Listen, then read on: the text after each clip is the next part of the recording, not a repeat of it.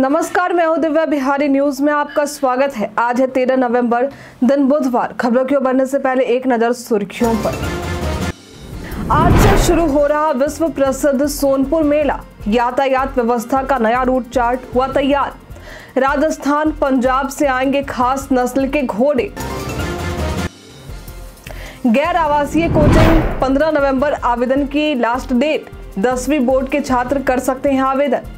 आवेदन प्रक्रिया है निःशुल्क। छठे हॉकी मुकाबले में भारत ने कोरिया को हराया। चीन मलेशिया के बीच मुकाबले में चीन की हुई जीत। हॉकी चैंपियंस ट्रॉफी का रोमांचक आयोजन है जारी।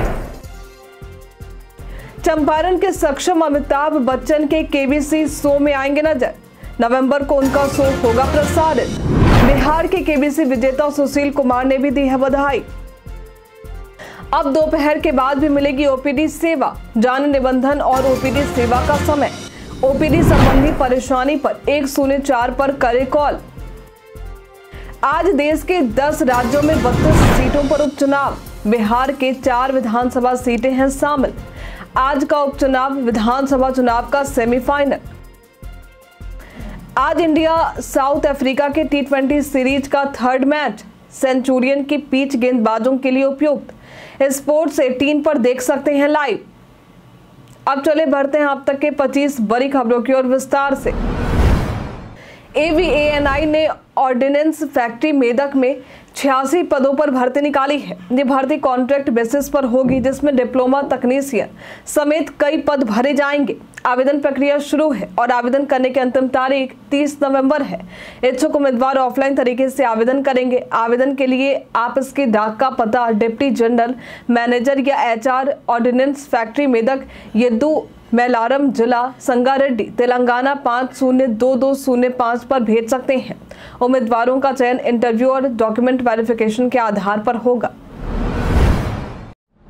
आज से विश्व प्रसिद्ध सोनपुर मेले की शुरुआत होने जा रही है। सारण जिला प्रशासन ने मेले की भीड़ को नियंत्रित करने के लिए यातायात व्यवस्था का नया रूट चार्ट तैयार किया है। पुरानी गंडक पुल पर वाहनों का परिचालन बंद रहेगा, जबकि नई गंडक पुल पर बड़े वाहनों का प्रवेश निषेध होगा। मेला में आने वाले वीआईपी के लिए विशेष मार्ग तैयार किए गए हैं।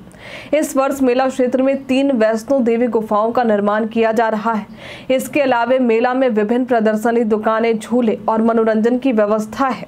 हालाँकि कुछ स्थानों पर सड़कें और घाट तैयार नहीं है और सरकारी प्रदर्शनियाँ भी देर से तैयार हो रही हैं। सोनपुर मेला घोड़ा बाज़ार के लिए प्रसिद्ध है, जहाँ राजस्थान, पंजाब और यूपी से महँगे घोड़े आते हैं। शैक्षणिक सत्र 2025-26 के लिए जवाहर नवोदय विद्यालयों में कक्षा नौवीं और ग्यारहवीं में नामांकन को लेकर लेटरल एंट्री सिलेक्शन टेस्ट 2025 के लिए आवेदन तिथि नवोदय विद्यालय समिति एनवीएस द्वारा बढ़ा दी गई है। अब 19 नवंबर तक उम्मीदवार आवेदन कर सकते हैं। आवेदन CBSE ITMS dot N I C dot I N पर ऑनलाइन किए जा सकते हैं। परीक्षा 8 फरवरी 2025 को होगी। कक्षा नौवीं में आवेदन के लिए उम्मीदवार को उसी ज़िले का निवासी होना चाहिए, जहाँ जीएनबी स्थित है, और कक्षा आठवीं में पढ़ाई कर रहे उम्मीदवार आवेदन कर सकते हैं। कक्षा ग्यारहवीं के लिए उम्मीदवारों को कक्षा दसवीं में पढ़ाई करना ज़रूरी है। इसके अलावे, बाल दिवस पर चौदह नवंबर को बिहार राज्य फ़िल्म विकास निगम द्वारा बाल फ़िल्म महोत्सव और कार्यशाला का आयोजन भी किया जाएगा।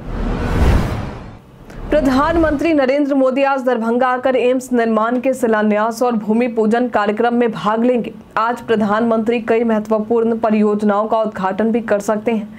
दरभंगा में एम्स एक सौ अठासी एकड़ भूमि पर बनेगा, जिसकी लागत बारह करोड़ रुपए होगी और इसमें 750 बेड की क्षमता होगी।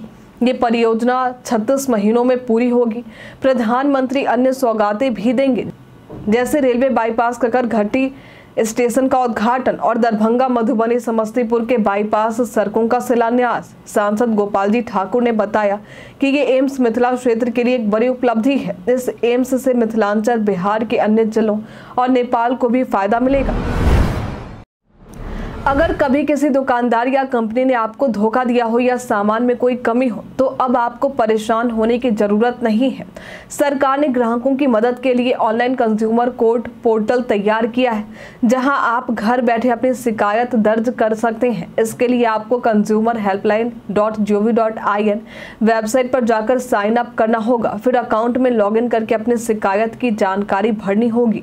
इसके बाद आपकी शिकायत सबमिट हो जाएगी और आपको एक कंप्लेन नंबर मिलेगा। आप अपने शिकायत का स्टेटस भी पोर्टल पर चेक कर सकते हैं। ये पोर्टल ग्राहकों के अधिकारों की रक्षा करने का एक आसान और प्रभावी तरीका है। बिहार में शिक्षकों की ट्रांसफ़र पोस्टिंग नीति को लेकर विवाद बढ़ गया है। शिक्षक संगठन नई ट्रांसफ़र पोस्टिंग नियमावली का विरोध कर रहे हैं। खास खासकर उन बिंदुओं पर जो उनके अनुसार अनदेखे हैं। शिक्षा मंत्री सुनील कुमार ने कहा है कि जिन जिलों में एक ही अनुमंडल है, वहाँ ट्रांसफ़र पोस्टिंग नीति में बदलाव किया जाएगा। उन्होंने कहा कि इन जिलों में विभाजन कर शिक्षकों की पोस्टिंग उसी ज़िले में की जाएगी। बिहार के आठ ज़िले जहानाबाद, अरवल, शेखपुरा, लखीसराय, जमुई, बांका, किशनगंज और शिवहर इस नियम के दायरे में आते हैं। वहीं टीटी शिक्षक संघ के अध्यक्ष नीतीश कुमार का कहना है कि ट्रांसफ़र पोर्टल पर कई समस्याएँ आ रही हैं, खासकर महिला शिक्षकों के लिए जो अब न्यायालय जाने की तैयारी कर रहे हैं।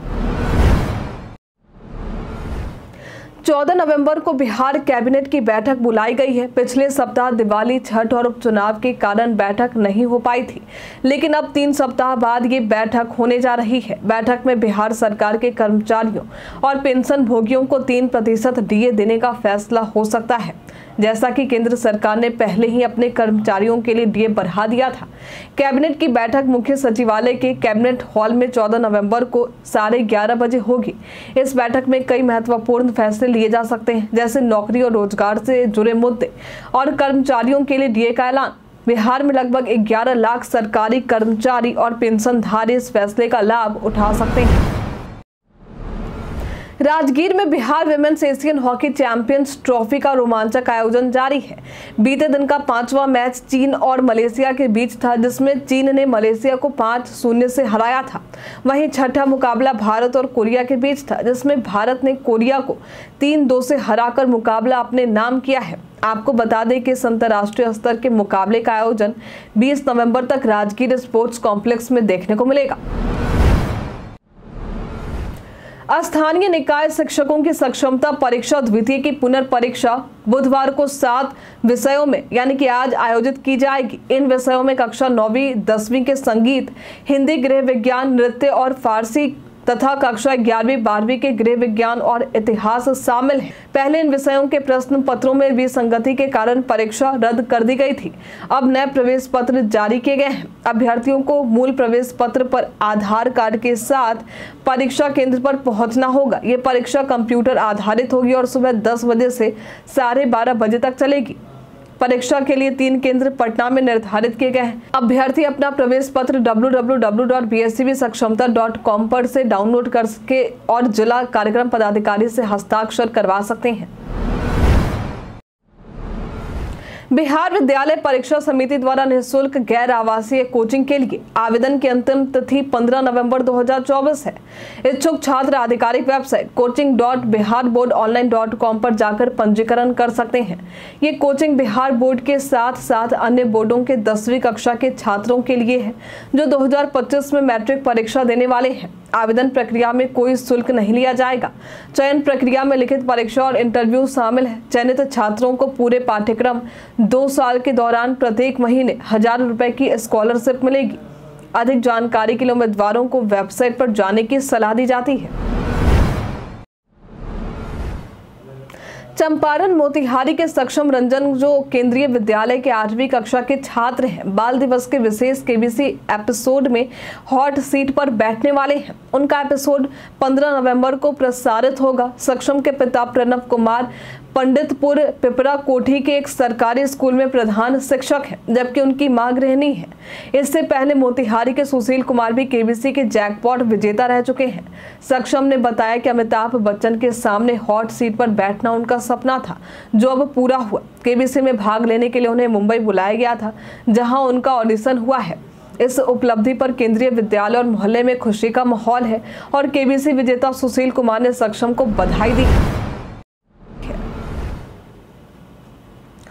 अब प्रदेश के सभी सरकारी चिकित्सा महाविद्यालय अस्पताल व सदर अस्पतालों में मरीजों को दी जाने वाली ओपीडी की सुविधा दोपहर के बाद भी दी जाएगी। नवंबर से फरवरी तक ओपीडी निबंधन का समय सुबह आठ बजे से दोपहर के डेढ़ बजे तक रहेगा। फिर दोपहर ढाई बजे से शाम के चार बजे तक रहेगा। ओपीडी के समय की बात करें तो ये सुबह नौ बजे से दोपहर के दो बजे तक, फिर तीन बजे से शाम के पाँच बजे तक सेवा मिलेगी। ओपीडी सेवा संबंधी किसी तरह की परेशानी के लिए टोल फ्री नंबर एक शून्य चार पर कॉल कर सकते हैं। ध्यान रखें, रविवार व सरकारी छुट्टी के दिन सेवा बंद रहेगी। बेटी बचाओ, बेटी पढ़ाओ योजना के तहत राज्य के 17 जिलों ने आवंटित राशि का उपयोग नहीं किया है। जिनमें राजधानी पटना भी शामिल है। महिला एवं बाल विकास निगम की समीक्षा बैठक में ये जानकारी सामने आई है। निगम ने सभी जिलाधिकारियों को जल्द से जल्द राशि खर्च करने का निर्देश दिया है। अगर फरवरी 2025 तक राशि खर्च नहीं की गई तो वो वापस ले लिए जाएँगे। योजना के तहत हर ज़िले को पाँच से दस लाख रुपए तक की राशि आवंटित की गई थी। जो अप्रैल 2024 में वितरित की गई थी। इस योजना का उद्देश्य लड़कियों की शिक्षा सुरक्षा, महिला सशक्तिकरण और लिंग भेदभाव को कम करना है। खर्च न करने वाले जिलों में पटना, बेगूसराय, गया और वैशाली सहित अन्य ज़िले शामिल जनकपुर धाम में प्रभु श्री राम और माता जानकी के विवाहोत्सव की तैयारियाँ जोरों पर हैं। इस बार ये उत्सव विशेष होगा। क्योंकि अयोध्या में राम मंदिर निर्माण के बाद ये पहला विवाह उत्सव है। नेपाल में विश्व हिंदू परिषद यानी विहेप के नेतृत्व में तिलक यात्रा अयोध्या के लिए निकलेगी, जिसमें दो सौ इक्यावन लोग शामिल होंगे। यात्रा 16 नवंबर को जनकपुर धाम से शुरू होकर 17 नवंबर को गोपालगंज, गोरखपुर होते हुए अयोध्या पहुंचेगी। 18 नवंबर को अयोध्या में तिलकोत्सव आयोजित किया जाएगा। वहीं अयोध्या से जनकपुर जाने वाली बारात का पड़ाव कांटी में होगा, जहाँ उनतीस नवंबर को भव्य स्वागत होगा। ये यात्रा पहले कभी ना देखे गए धार्मिक उत्साह के साथ होगी व्हाट्सएप ने एक नया चैट लॉक फीचर पेश किया है, जिससे आप अपनी सेंसिटिव चैट्स को सुरक्षित रख सकते हैं।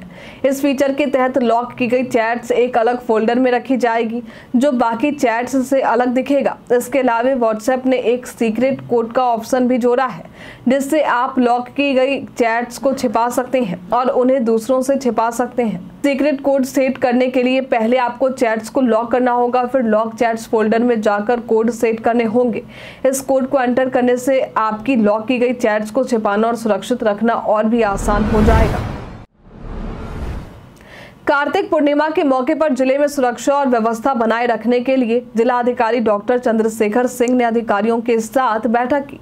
14 नवंबर रात से लेकर 15 नवंबर तक पटना के प्रमुख गंगा घाटों पर मजिस्ट्रेट तैनात रहेंगे। एनडीआरएफ की तीन टीमें मोटर बोट गश्ती करेंगी और डीप गोताखोर भी घाटों पर मौजूद रहेंगे। डीएम ने सभी सीओ को अलर्ट रहने का निर्देश दिया और स्नान के दौरान किसी भी असामाजिक तत्वों की गतिविधियों पर नज़र रखने की हिदायत दी गई है। इस दौरान गंगा और अन्य नदियों में निजी नाव का परिचालन भी प्रतिबंधित रहेगा। नवंबर महीना का दूसरा हफ़्ता बीत जाने के बाद भी गर्मी का असर देखने को मिल रहा है। हालाँकि पछुआ हवा के प्रभाव से ठंड में वृद्धि देखने को मिल सकती है। आज प्रदेश में अधिकतर जगहों पर मौसम शुष्क रहने की संभावना है। आज प्रदेश में अधिकतम तापमान 30 से 32 डिग्री और न्यूनतम तापमान कुछ जगहों पर 18 से 20 डिग्री और कुछ जगहों पर 20 से 22 डिग्री रहने की संभावना जताई गई है। बिहार के नवादा में पुलिस को एक बड़ी सफलता मिली है, जहाँ 16 साइबर अपराधियों को गिरफ़्तार किया गया है, जो ऑनलाइन ठगी में लिप्त थे। पुलिस ने मंगलवार को एसपी कार्यालय में प्रेस वार्ता के दौरान बताया कि साइबर डीएसपी प्रिया ज्योति के नेतृत्व में वारसलीगंज क्षेत्र में विशेष छापेमारी की गई, जिसमें बगीचे से बैठकर ठगी करने वाले सोलह आरोपियों को पकड़ा गया। उनके पास से मोबाइल, लैपटॉप, सिम कार्ड और विभिन्न कंपनियों के दस्तावेज़ बरामद किए गए हैं। ये अपराधी लोगों को फ़ोन करके विभिन्न कंपनियों के नाम पर झांसा देकर ठगी करते थे। पुलिस ने कोच गाँव में पहले रेड मारी और फिर घेराबंदी करके सभी आरोपियों को गिरफ़्तार किया।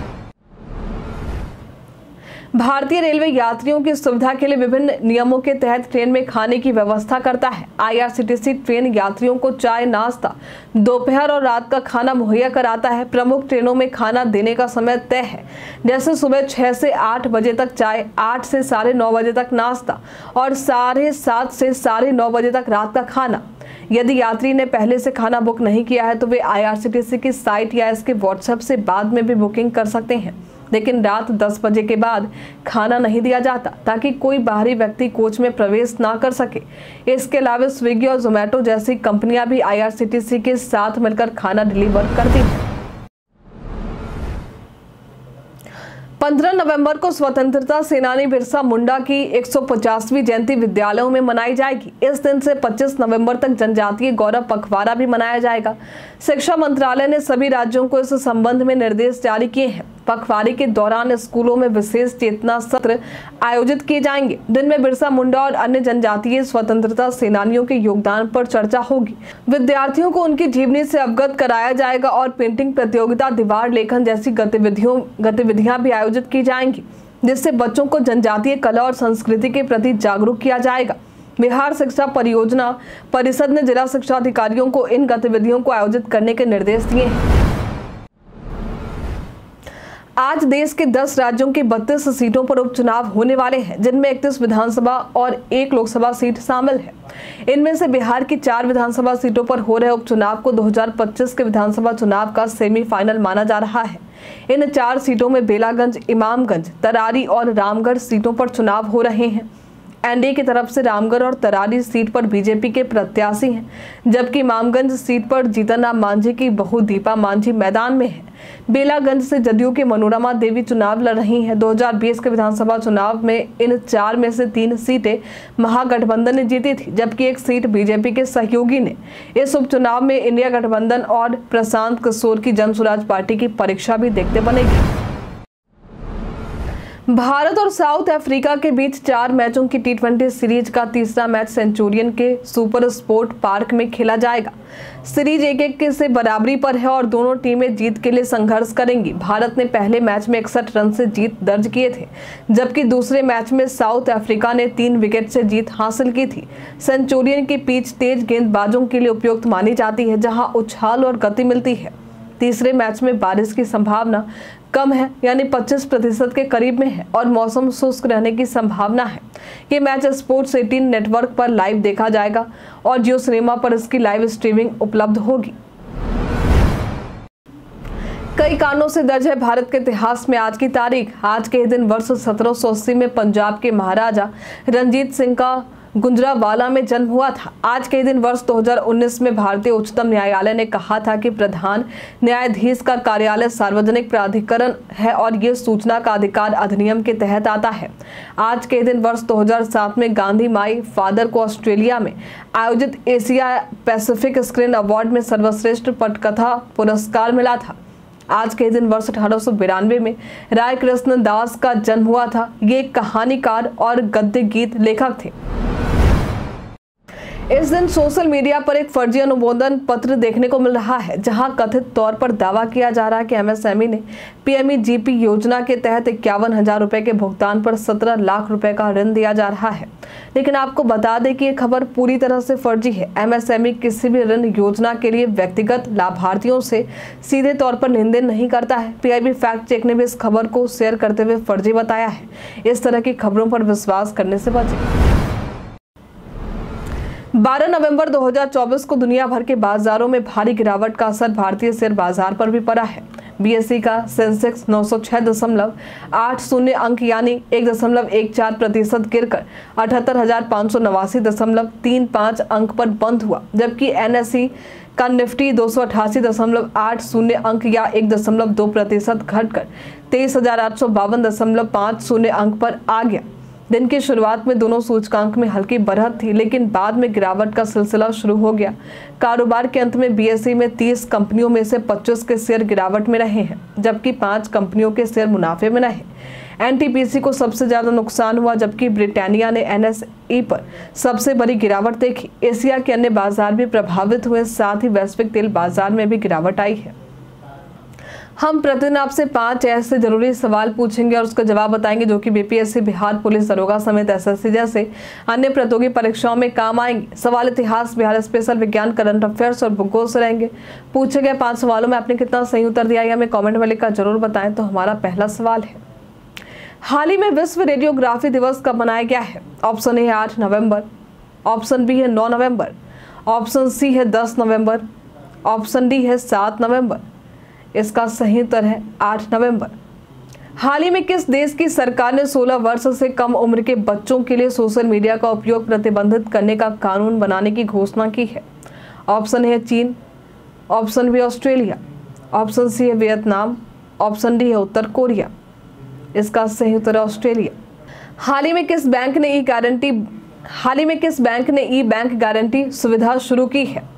ऑप्शन ए है ICICI option B SBI bank, option C है Punjab and Sind bank, option D H bank. इसका सही उत्तर है पंजाब एंड सिंध बैंक। स्वराज्य कथा पत्रिका का संवाद, स्वराज्य कथा पत्रिका का संपादन किसने किया था? ऑप्शन ए है बाल मुकुंद वाजपेयी, ऑप्शन बी है कृष्ण वल्लभ सहाय, ऑप्शन सी है बाबू महेश्वरी प्रसाद, ऑप्शन डी इनमें से कोई नहीं। इसका सही उत्तर है Bal Mukund Vajpayee. Boys boys association के संस्थापक कौन थे? ऑप्शन है अशफाक खान। ऑप्शन बी है सूर्यदेव नारायण वर्मा। ऑप्शन सी है जगदीश्वर प्रसाद। ऑप्शन डी है सतीश चंद्र। इसका सही उत्तर है सूर्यदेव नारायण।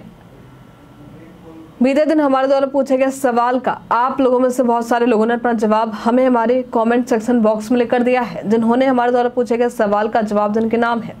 कंचन राजवंशी उमा शंकर सिंह, राजकुमार यादव, सुमेंद्र यादव, राम बाबू दास मोहम्मद रबीउल्लाह भरत प्रसाद, मोहम्मद जाकिर हुसैन, श्रवण कुमार, रवि कुमार गुप्ता, नुन्नू गोलू कुमार, गौतम कुमार, अभय गुप्ता, रवि अर्जुन कुमार, सुरेश शाह राजीव दुबे, अशोक कुमार। इसी के साथ बढ़ते आज के सवाल की और का सवाल है, क्या आप रेलवे की व्यवस्था से संतुष्ट हैं? आप अपना जवाब हमें कमेंट में लिखकर ज़रूर बताएँ। आज के लिए इतना ही। बिहार के तमाम खबरों के साथ बने रहने के लिए देखते रहे बिहारी न्यूज़। और साथ ही अगर आप यूट्यूब से देख रहे हैं तो चैनल को लाइक करना और सब्सक्राइब करना। अगर आप फेसबुक देख रहे हैं तो पेज को फॉलो करना ना भूलें। धन्यवाद।